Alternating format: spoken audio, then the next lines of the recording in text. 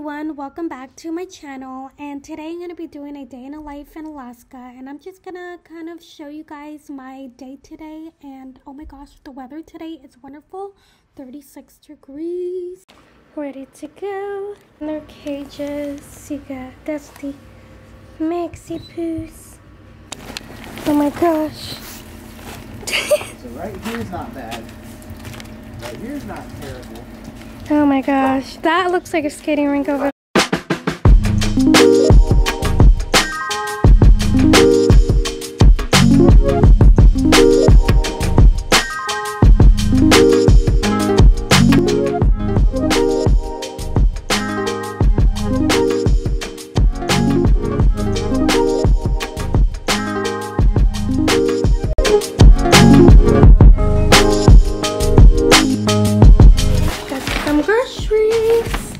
You guys, look at this.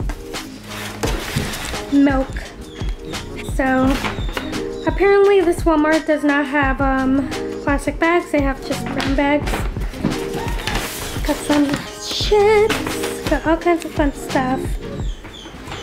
Come on, baby. Can you guys see me? Oh my goodness. There we go. Me take my jacket off because so we went to Walmart um, because we're looking at a house and right after we went grocery shopping and um, prices didn't seem like it was terribly different from like any other place. Like um, I would say maybe a dollar more or 50 cents more expensive. There's not a huge difference. So um, we got these diapers.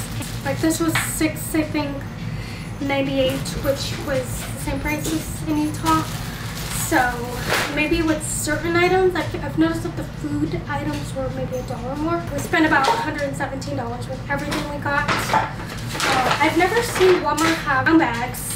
I feel like I'm back in California because I'm pretty sure we paid for the bags, which... You paid for plastic bags in California. Yeah. I'm very happy I was able to get out and explore.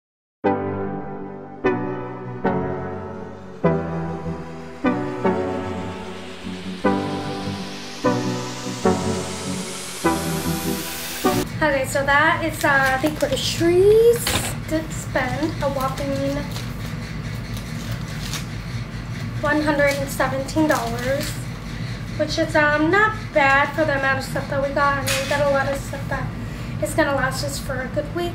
But as far as like the meat, it was a pretty fair price.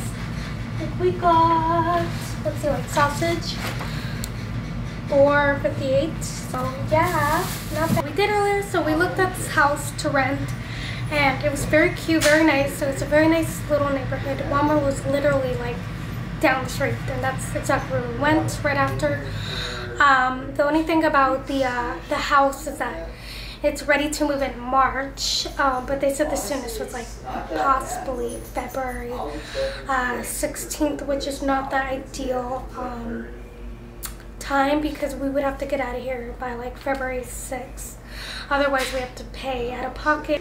Whatever will be, will be. But uh, we'll have to like look at other options and see what else um, is available and ready to move.